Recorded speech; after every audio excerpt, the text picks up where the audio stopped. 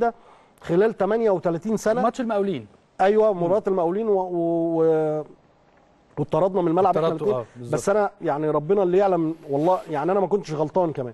بس هي الفكرة إن طول 38 سنة أنا عمري في حياتي عمري ما أسأت للنادي الأهلي بكلمة. ممكن بقى نقول بقى زي ما أنت عايز يلا. قول لكن- لكن هنتكلم الأساس. في الأساس. الأساس. إن آه. أنا يستحيل أسيء للنادي الأهلي مستحيل.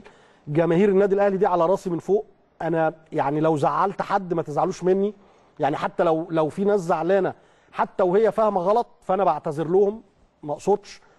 النادي الأهلي ده بيتي وجمهور النادي الأهلي ده هو اللي عملني وهو اللي عمل شهرة وليد صلاح الدين وكل أجيال النادي الأهلي. فما فيش مش هيبقى فيه مزايدة. ومن خلال أسئلتك برضو هوضح وجهة نظري. يا رب الناس يعني يا رب الناس تقتنع تستقبل آه. تقتنع بوجهة نظري اللي أنا قلتها لأن أنا دخلت الإعلام يا كابتن إسلام سنة 2004 مع نعم. الكابتن شوبير في قناة دريم أول حاجة كنت لسه مبطل كورة فقال لي تعالى كده إيه أما أجربك.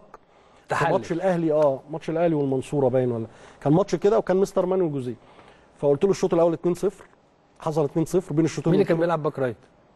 النجم اسلام الشاطر. مش فاكر والله بس أكيد أنت 2004 طبعا.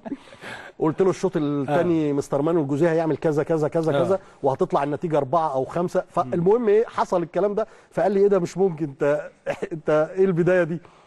كملت من 2004 لغاية 2019 دلوقتي 15 سنة في العمل الإعلامي. عمر ما حصل مشكلة. عمر ما ما جمهور النادي الأهلي زعل مني. عمري ما قلت أي حتى لفظ. عمري ما جرحت في حد عمري ما أسأت لحد حتى من المنافسين. الحمد لله. دخلت الكورة وطلعت الكورة وده برضو بفضل الكابتن الخطيب يعني هنيجي بعد كده لمباراة اعتزال الكابتن الخطيب والنصايح اللي هو اداهاني نصيحة من النصايح خلي الناس كلها تحبك. حاول بقدر الإمكان إن أنت تبقى محترم. آه، ابعد عن الغرور. خلي المنافسين قبل زمايلك يحبوك. أظن إن يعني الحمد لله والشكر لله في إجماع على كده. يعني ال ال كل الحمد لله اتحاد اسكندرية اشتغلت طبعا في الاتحاد.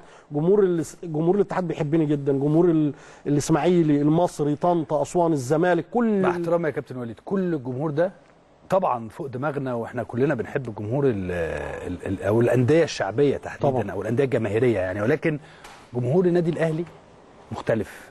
مختلف لأنه جمهور آه يعني إيه تقدر تقيس نفسك من خلاله. بمعنى إن حضرتك بتقولي أنا جات لي